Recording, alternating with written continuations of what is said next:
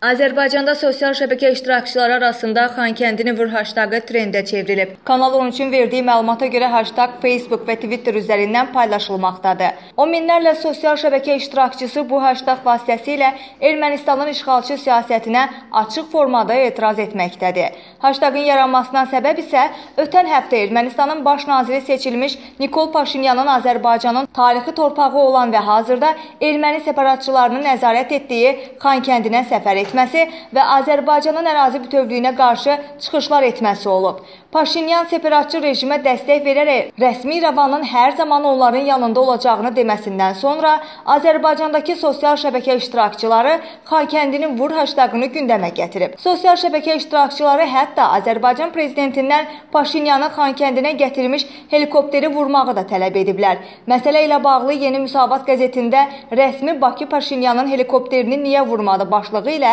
yazı da yazılıb.